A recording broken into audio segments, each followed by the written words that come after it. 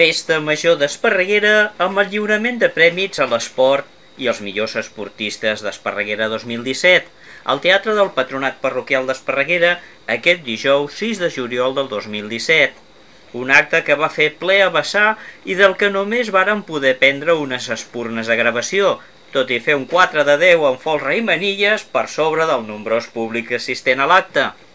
Feia referència, haurem de buscar algun espai de cara a l'any vinent, perquè cada any ja som més gent, la, la petita gran família de l'esport, doncs, com diu també l'Àlex, doncs, mostra bona salut, el rol que estem tenint a, a l'Ajuntament. Aquests dies m'he vist amb, amb diversa gent de vosaltres, amb algunes entitats, he pogut gaudir, per exemple, la setmana passada amb el Club del Tenis, que per cert fan el seu 50è aniversari, i no són són, però moltes felicitats per aquest aniversari tan, tan important. I amb tots ells els comentava que tenim un deute estructural, jo crec, que la nostra casa amb, amb l'esport. Per què? Perquè jo crec que hi ha hagut un, un fracàs estructural del que hem fet política al nostre poble respecte a l'esport. Ahir, de fet, teníem ple a l'Ajuntament, ho comentàvem els companys i companyes regidors, amb un sentit. Jo crec que no hem estat a l'alçada tots els governs que hem passat planificant els equipaments que tenim al poble.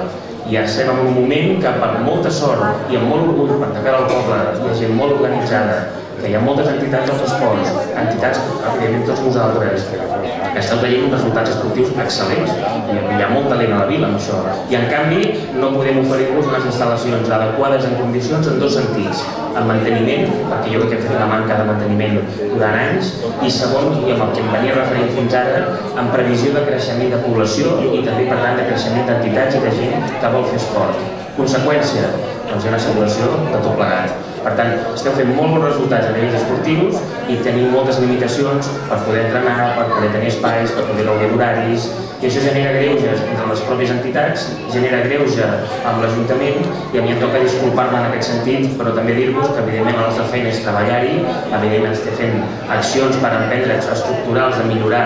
eh, temes cabdals com pot ser temes d'enllumenat elèctric, d'instal·lacions, de circuits d'aigua, eh, adaptar-nos a normativa perquè fa discapacitats i pensar més al mitjà termini, perquè malauradament no serà una qüestió que podem resoldre immediatament, en quin és l'equipament del futur que volem pel que fa l'esport de la vila.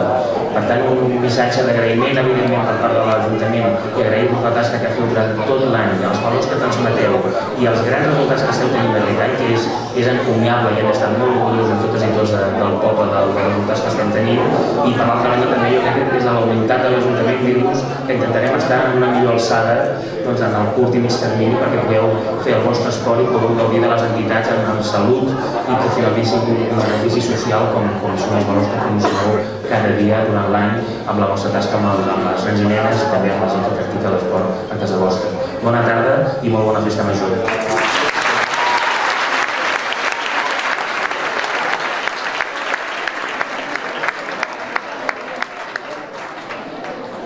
Bé, a part de l'Eduard Ribas, alcalde de la vila, també ens acompanyen aquí dalt i que aniran entregant els diversos eh, premis, l'Antoni Molar, el regidor d'Esports, eh, l'Anna Cortijo, cap d'àrea del Servei a les Persones, i la Sílvia Santanera,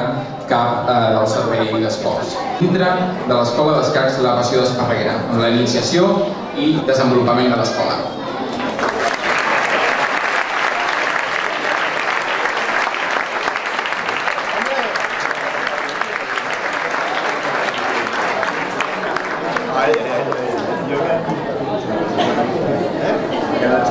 はい。